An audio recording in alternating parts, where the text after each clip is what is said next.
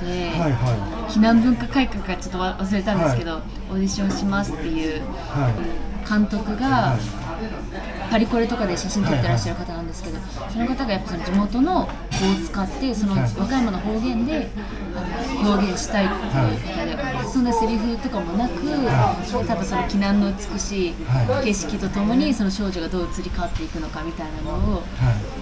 作りたいっていうふうにおっしゃってちょっと今思い出して。も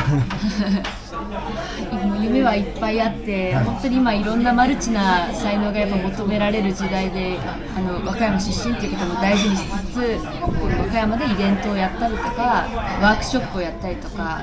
でそれで興味持ってくださった方がミュージカル見に来てくださってあ、まあ、ミュージカルっていいねってこう思ってくださるような人を増やしていったりとかその芸術復興であったりとかっていうのをこう和歌山でもさらに